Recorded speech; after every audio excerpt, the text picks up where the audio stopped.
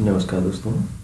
तो चलिए आज की क्लास में बात करते हैं हम लोग एक बहुत ही महत्वपूर्ण टॉपिक पर बात करने वाले हैं। कोविड 19 के दौरान गैर संचारी रोगों के उपचार की चुनौतियाँ। इसी से संबंधित ये आपका आर्टिकल लिखा गया है। तो सबसे पहले तो आप याद रखिए गैर संचारी रोग वो रोग होते हैं जो एक व्यक्ति से दूसरे व्यक्ति में नहीं फैलते हैं। इसमें आप जैसे ले सकते हैं कैंसर हो गया मधुमेह हो गया हृदय रोग हो गया। संचारी रोग इसके विपरीत होते हैं। संचारी रोग वे रोग होते हैं जो ते, तेज़ी से संक्रमण करते हैं तथा एक व्यक्ति से दूसरे व्यक्ति में तुरंत मतलब जल्दी फैल जाते हैं। जैसे आप मलेरिया टाइफाइड चेचक इन्फ्लुएंजा चेचक आप ले देखते हैं कि जब किसी को चेचक हो जाता है तो उससे दूरियाँ बनाई जाती है। देखा है आपने? लेकिन किसी को अगर कैंसर है, किसी का, किसी को हृदय रोग है तो उससे दूरियाँ नहीं बनाई जाती हैं, क्योंकि ये दूसरे में नहीं फैल सकता है। कि अगर किसी को कैंसर है तो आप उसके पास जा रहे हैं तो आप में लग जाए, ऐसा नहीं है। लेकिन चेचक में अगर उसके पास आप जाते हैं तो आपको होने की चांस बने रहते हैं। हाल ही में डब्ल्यूएचओ द्वारा किए गए एक सर्वेक्षण के अनुसार कोविड 19 यानी कि कोरोना वायरस की महामारी के शुरू होने के बाद से गैर संचारी रोगों के लिए रोकथाम और उपचार सेवाएँ गंभीर रूप से बाधित हो गई बहुत से लोग जिन्हें कैंसर, हृदय रोग और मधुमेह जैसी बीमारियों के इलाज की आवश्यकता है, वे इससे संबंधित स्वास्थ्य सेवाओं का लाभ नहीं ले पा रहे एक बात आपको बता दें, पहले डब्ल्यूएचओ क्या है? विश्व वर्ल्ड हेल्थ ऑर्गेनाइजेशन है, विश्व स्वास्थ्य स्वास्थ्य संगठन। और आपने देखा होगा कि स्वास्थ्य दिवस मनाया जाता है सात अप्रैल को। इसकी स्थापना हुई थी सात अप्रैल 1948 को। इसका मुख्यालय हेडक्वार्टर है जेनेवा, स्विट्जरलैंड में। एक बात हमेशा याद रखिए, आपके जितने भी राष्ट्रीय और अंतर्राष्ट्रीय संगठन है, उन सब के बारे में हम लोग विस्तार से पढ़ चुके हैं। तो महत्वपूर्ण संगठनों के नाम से जो आपकी प्लेलिस्ट सूची है, उसमें सभी संगठन मिल जाएँगे। तो आपने जब से देखा कि कोविड नाइन्टीन का महामारी आई हुई है तब से और अन्य बीमारियों के लिए इलाज पर ध्यान नहीं दिया जा रहा। आप खुद जानते हैं कि जहाँ देखिए, जहाँ कोविड नाइन्टीन छाया हुआ है, इसमें आपका कैंसर हो, हृदय रोग हो, मधुमेह हो, ऐसी बीमारियों की बीमारियों के इलाज के लिए ज़्यादा सुविधा भी नहीं दी जा रही है। और जो इससे पीड़ित है, उनके लिए सेवाओं का लाभ भी नहीं मिल पा रहा है। पिछले महीने 155 देशों में किए गए सर्वे में संयुक्त राष्ट्र की स्वास्थ्य एजेंसी को एक चिंताजनक समस्या के बारे में पता चला है। यह समस्या उन लोगों से संबंधित है जो गैर संचारी रोगों से पीड़ित हैं और उन्हें उचित स्वास्थ्य सेवाएँ नहीं मिल पा रही इनमें से कई लोग कोविड नाइन्टीन बीमारी से ज़्यादा से भी ज़्यादा खतरे में हैं। सर्वे के मुताबिक कई देशों में स्वास्थ्य सेवाएँ आंशिक रूप से या पूरी तरह से बाधित हो गई हैं। आप समझ सकते हैं कैंसर का पीड़ित, ठीक है, आपके कोरोना वायरस में जान जाने के बहुत कम चांस हैं। दस व्यक्ति में से मुश्किल से एक व्यक्ति की जान जाती है और कम है इसका रेशियो है। लेकिन आप समझ सकते हैं कि इसमें कैंसर है किसी को तो उसके मरने के चांस अधिक होते हैं, लेकिन फिर भी उसे इलाज की सुविधा नहीं हो पा रही है। और सबसे बड़ी तो प्रॉब्लम है आप ग्रामीण क्षेत्र में रहते हैं और आपको शहर में जाना है तो सभी तीन महीने तो आप समझते हैं कि पूरी तरह से टप पड़ा रहा। तो जाने की भी सुविधा नहीं थी। तो बेचारा कहाँ से इलाज करवा सकता था? और अब कई बोलते थे कि वो ई मेडिकल सुविधा मतलब ऑनलाइन मेडिकल। देखिए भाई, इतना सक्सेस नहीं हुआ है भारत अभी कि इस तरह की सुविधाएँ हो जाए। अन्य देशों में हो सकता है कि इस समय अमेरिका हो, स्विट्जरलैंड हो, इन देशों में हो सकता है कि इस तरह की सुविधा उपलब्ध हो जाए। लेकिन हमारे यहाँ अभी बहुत पीछे सर्वे में शामिल देश में आधे से अधिक, लगभग तिरपन प्रतिशत, उच्च रक्तचाप, रक्त, यानी कि उच्च रक्तदाब के इलाज के लिए, उनचास प्रतिशत मधुमेह और मधुमेह से संबंधित रोगों के उपचार के लिए, बयालीस प्रतिशत कैंसर के इलाज के लिए और इकतीस प्रतिशत हृदय संबंधी आपात स्थितियों के लिए दी जाने वाली सेवाएँ आंशिक या पूरी तरह से बाधित, यानी कि रोक दी गई हैं। सेवाओं को बंद करने या कम करने के लिए सबसे आम कारण कोरोना महामारी थी, क्योंकि इसी के कारण नियोजित उपचारों को रद्द करना पड़ा और सार्वजनिक परिवहन की उपलब्धता में कमी आई और साथ ही कर्मचारियों की कमी का भी सामना करना पड़ा, क्योंकि स्वास्थ्य कार्यकर्ताओं को कोविड नाइन्टीन के उपचार हेतु निर्दिष्ट कर दिया गया है। समझ रहे अन्य प्रमुख क्षेत्रों क्षेत्रों में भी परिणाम लगभग समान है, जैसे तपेदिक के उपचार में माँ और बच्चे दोनों का स्वास्थ्य देखा जाता है, क्योंकि इसका प्रभाव दोनों पर हो सकता है। परंतु अब महामारी के परिणाम स्वरूप दोनों में मृत्यु दर की वृद्धि देखी जा रही है। इसमें कोई शक नहीं, आप समझिए कि जब आपके पास साधन नहीं है, ठीक है, आप सक्सेज हो, मैं सबकी बात नहीं कर सकता हूँ, क्योंकि सब लोग सक्सेज हैं तो वो अपना वाहन से जा सकते थे। लेकिन उसके बारे में आप सोच सकते हैं, जिनके पास गाड़ी, बाइक लेने के पैसे नहीं है, वो क्या करते होंगे? उन्हें जाने के लिए तो वाहन की, बस, ट्रेन की ज़रूरत पड़ती है ना? लेकिन ट्रेन की आप स्थिति देखते हैं, अभी भी बंद है आपकी ट्रेन। तो समझ रहे हैं आप हालत?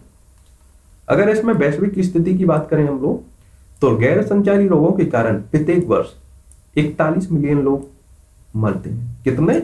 41 मिलियन लोग। याद रखिए, एक मिलियन बराबर 10 लाख होते हैं। जो वैश्विक स्तर पर सभी मौतों के इकहत्तर प्रतिशत के बराबर है।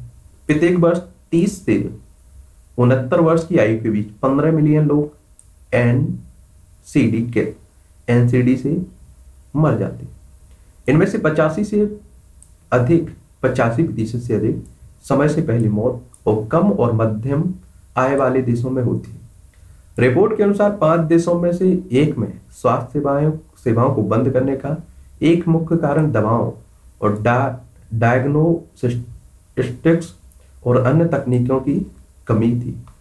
अप्रत्याशित रूप से देखा जाए तो प्रतीत होता है कि एक देश में एनसीडी के उपचार और कोरोना महामारी उपचार हेतु दी जाने वाली सेवाओं में व्यवधान के बीच सह संबंध सह संबंध है। अधिकतर देशों में कोरोना वायरस के बढ़ते, बढ़ने के कारण गैर संचारी रोगों क्या गैर संचारी रोगों से संबंधित सेवाएँ तेज़ी से बाधित हुई हैं। हालाँकि वैश्विक स्तर पर दो तिहाई देशों ने बताया कि उन्होंने एनसीडी सेवाओं को, अंतरराष्ट्रीय को अपने राष्ट्रीय कोविड 19 की तैयारियों और प्रतिक्रिया योजनाओं, प्रिपरेशन एंड रिस्पॉन्स प्लान में भी शामिल किया है। एनसीडी का मतलब याद रखिए, यही गैर संचारी रोग होता है। फिर आप समझिए कि क्या होता है, पता आना चले ठीक है? इसमें उच्च आय वाले देशों से बहत्तर प्रतिशत की तुलना में निम्न आय वाले देशों में, देशों से बयालीस प्रतिशत सेवाएँ शामिल थी, जिसमें आपने हृदय रोग, कैंसर, मधुमेह, पुरानी शोषण, बीमारियों को दूर करने हेतु तो सेवाएँ मुख्य रूप से सम्मिलित थी। परंतु दंत चिकित्सा दंत चिकित्सा सेवाओं तंबाकू निषेध, पुनर्वास गतिविधियों को शामिल नहीं किया गया था। सर्वेक्षण सर्वेक्षण के परिणाम स्वरूप अब अधिकांश देशों में वैकल्पिक रणनीतियाँ अपनाई जा रही हैं। जो लोगों को कोविड 19 के बीच गैर संचारी रोगों से भी राहत प्रदान करने में सहयोग करे, रिपोर्ट के अनुसार सत्रह प्रतिशत देशों ने अपने राष्ट्रीय कोविड 19 योजना में एनडीसी एनसीडी सेवाओं के प्रावधान को शामिल करने के लिए सरकार के बजट से अतिरिक्त धन आवंटित करना शुरू कर दिया वैश्विक स्तर पर अंठावन प्रतिशत देश अब लोगों को परामर्श देने हेतु टेलीमेडिसिन, टेलीफोन और ऑनलाइन माध्यमों से सलाह का उपयोग कर रहे हैं। सत्तर प्रतिशत से अधिक देशों में ने कोविड 19 के ऐसे रोगियों की संख्या पर डेटा एकत्रित किया है, जिन्हें कोई गैर संचारी रोग भी है, जिन्हें कोई गैर संचारी रोग भी है। अगर भारत की स्थिति की बात करें हम लोग तो अन्य देशों के समान भारत में भी कोविड 19 मामलों का बोझ बढ़ने के साथ साथ स्वास्थ्य व्यवस्थाओं पर दबाव बढ़ता जा रहा है। भारत में गैर संचारी रोगों वाले लोगों की एक बड़ी संख्या है, जिन्हें नियमित निगरानी और देखभाल की ज़रूरत होती है। परंतु महामारी के कारण गैर संचारी रोगों की देखभाल में कई व्यवधान आ रहे हैं और इन व्यवधानों को दूर करने के लिए स्वास्थ्य प्रणालियों में सुधार की तत्काल आवश्यकता है। आपको एक बात याद रखना चाहिए कि जब से कोविड नाइन्टीन आया हुआ है, कोरोना वायरस तो तब से आपने सुना होगा कि कहीं आपने नहीं सुना है कि कहीं हॉस्पिटल में ये हो रहा है, वो हो रहा है। क्योंकि सबका ध्यान हट चुका है अन्य बीमारियों से। और मेन आपका कोरोना वायरस पर लग चुका है पूरा दिमाग। समझ रहे हैं आप लोग? तो बाकी आप देखिए कि किसी का एक हाथ उंगली में दर्द हो, उसका पूरा हाथ कट जाए तो उसका दर्द उंगली से तो चला जाएगा। उसका ध्यान कहाँ हो जाएगा? हाथ पर पूरे तो यही हाल रहा है कि कितनी भी खतरनाक बीमारी हो से लेकिन उस पर ध्यान नहीं दिया गया है। हालाँकि टेलीमेडिसिन एक आशाजनक विकल्प है, जो कि प्रौद्योगिकी प्लेटफॉर्मों पर निर्भर है।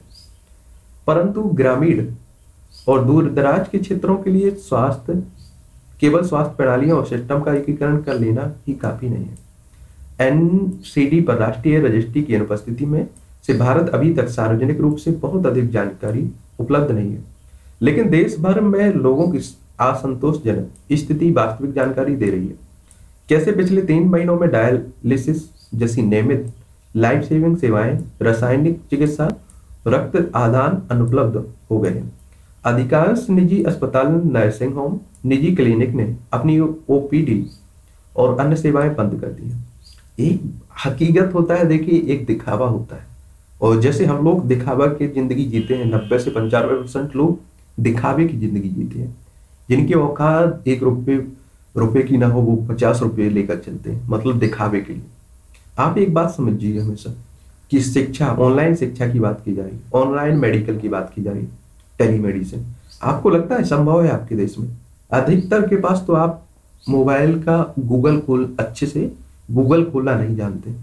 अधिकतर लोगों के पास फ़ोन नहीं है आपके देश में। ठीक है? नेट की सुविधा नहीं है गाँव में। आपको लगता है कि शिक्षा, ऑनलाइन शिक्षा हो सकती है?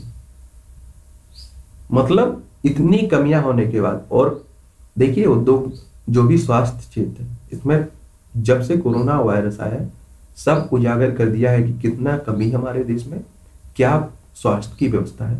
ठीक है? हर देश में याद रखिए, हमारे यहाँ मुद्दा चुनाव होता है तो क्या उठता है? हिंदू, मुस्लिम हिंदू, मुस्लिम। और ये मुद्दा स्थानीय, जो भी आपके रहते हो। लेकिन कोई भी देश को लीजिए, वहाँ स्वास्थ्य, शिक्षा और तीसरा प्रशिक्षण। ये तीन मुद्दे चुनाव के बनते हैं। इसीलिए वो विकसित है। दूर काय के लिए जा रहे हैं आप लोग। केरल चले जाइए। केरल की स्थिति हमारे सभी राज्यों से बेहतर है। वहाँ लिंग अनुपात आप बेहतर देख सकते हैं, स्वास्थ्य की सुविधा बेहतर देख सकते हैं। पढ़ाई लिखाई में साक्षरता में सबसे आगे है। और कोरोना वायरस पर देखिए कि उसने अच्छे से टैगल किया हुआ है मतलब अच्छे से समाधान निकाला हुआ है। क्योंकि वहाँ हम जैसे लोग नहीं हम, कि हम लोग मतलब किसी एक मुद्दे पर वोट देते हैं। मालूम चला हिंदू पर वोट दे दिया, हिंदू मुद्दे पर। मालूम चला मुस्लिम वाले को वोट दे दिया मुस्लिम मुद्दे पर। ठीक है? और वही भुगत रहे हैं हम लोग। उत्तर भारत देखिए, आप लोग उत्तर प्रदेश, बिहार, मध्य प्रदेश यहाँ की जनता सत्तर साल से भोग रही है और मुझे लगता है ज़िंदगी भर भोगती रहेगी। हमारा नहीं, जैसे हम आज अंधभक्ति में वोट दे देते हैं तो हमारा छोड़िए, आने वाली हमारी पीढ़ी भी इससे प्रभावित रहती है। जो सक्सेस लोग हैं, वो ठीक है स्थिति उनकी, और जो हम गरीब हैं, उनकी स्थिति वक्त से बदतर जा रही है। ठीक है? तो यही व्यवस्था है। और आप सोचिए कि ऑनलाइन सेवाएँ तब तक चालू नहीं हो सकती हैं, जब तक हर व्यक्ति इलेक्ट्रॉनिक मतलब साक्षर ना हो कंप्यूटर से। और आप समझिए कितने प्रतिशत हमारे यहाँ कंप्यूटर जानकार होंगे। मुश्किल से। ब्रिटिश जर्नल ऑफ़ सर्जरी में पिछले महीने प्रकाशित एक अध्ययन से पता चला है कि कोविड 19 के 12 पीक सप्ताह के दौरान भारत में हर हफ़्ते 48,700 से अधिक सर्जरी रद्द कर दी गई। लगभग 60 प्रतिशत कैंसर सर्जरी की योजना को स्थगित यानी कि बंद कर रोक दिया गया। अर्थात लगभग इक्यावन हज़ार से अधिक कैंसर पीड़ितों को का इलाज नहीं हो सका। भारत में हर साल कैंसर के 10 लाख से अधिक नए मामले सामने आते हैं। चूँकि अधिकांश अस्पताल बड़े शहरों में इसलिए ग्रामीण क्षेत्रों के लोगों को अक्सर उपचार के लिए लंबी दूरी तय करनी पड़ती है। निष्कर्षतः क्या कहा जा सकता है कि गैर संचारी रोग एनसीडी से ग्रसित लोग आवश्यक उपचार न मिलने के कारण अन्य रोगों की विधि भी संवेदनशील हो जाते हैं। आपने सुना भी होगा कि कोरोना वायरस से मौत उसी व्यक्ति की होती है जो पहले से किसी बीमारी से पीड़ित हो। तो वही बात की जा रही है। इनके मरने की चांस अधिक रहते हैं। अतः सरकार को स्वास्थ्य क्षेत्र पर अधिक ध्यान देने की आवश्यकता होती है। हमें स्वास्थ्य सेवाओं को मज़बूत करने के लिए बेहतर निर्माण और उसको उचित दिशा में क्रियान्वयन करने की आवश्यकता होती है, ताकि भविष्य में किसी भी परिस्थिति में एनसीडी के रोकथाम, निदान और देखभाल की सेवाएँ प्रदान करने के लिए बेहतर तरीके उपलब्ध हो। याद रखिए, मेरी यही इच्छा रहती है कि हमारे देश में स्वास्थ्य, शिक्षा और प्रशिक्षण फ्री होना चाहिए, बिल्कुल। और आप मानिए, हकीकत, कि मैं ये बोल रहा हूँ कि अगर इन तीनों क्षेत्रों पर फोकस दे दिया तो ना तो किसी को रोज़गार देने की ज़रूरत पड़ेगी। वो अपने आप रोज़गार पैदा कर लेगा। और दूसरी बात, आपको किसी को फ्री में देने की ज़रूरत नहीं पड़ेगी। फ्री का किसी को खाने की आदत नहीं रहेगी। अपने आप वो अपना रोज़गार और खाने पीने की व्यवस्था कर लेगा। लेकिन अगर सरकार ने एक काम कर दिया तो आप खुद सोचिए कि एक सरकार करेगी, आप पढ़े लिखे हो जाएँगे और फिर उसके बाद आप वोट उसी को देंगे जो काम करेगा। दिल्ली में इस व्यवस्था को आप देख सकते हैं। बच्चों को क्या चाहिए? गरीब को क्या चाहिए? शिक्षा, स्वास्थ्य का मुद्दा। और दिल्ली सरकार ने जब से अरविंद केजरीवाल आया हुआ दिया है उसने। इसीलिए आप देखते हैं कि वहाँ जनता खुशहाल है। ठीक है? अब कोरोना एक ऐसी महामारी, आप कोरोना से मत जोड़िए अरविंद केजरीवाल को कि अरविंद केजरीवाल की फेलियर है। ये सबकी फेलियर है, किसी की फेलियर तो आप मुंबई को देख सकते हैं, दिल्ली को देख सकते हैं, हर राज्य को देख सकते हैं। और दिल्ली में इसलिए ज़्यादा टेस्ट हो रहे हैं, इसलिए ज़्यादा केस आ रहे हैं। पर ना आप उत्तर प्रदेश और मध्य प्रदेश, राजस्थान कहीं भी ले लीजिए, सब जगह कम केस आप एक बात समझिए कि आप शरीर का जब तक अल्ट्रासाउंड या चेक ना करवाएँ तब तक आपको पता नहीं चलेगा कि आपके अंदर क्या बीमारी तो यही हाल। दिल्ली में अधिक टेस्ट हो रहे हैं, अधिक केस आ रहे हैं, अमेरिका में अधिक टेस्ट हो रहे हैं, अमेरिका में अधिक टेस्ट केस आ रहे हैं, उत्तर प्रदेश, राजस्थान, इन क्षेत्रों में कम टेस्ट किए जा रहे हैं, इसलिए कम मरीज़ आ रहे हैं। ठीक है? चलिए अपना ख्याल रखिए, अपने परिवार के साथ में ख्याल रखिए।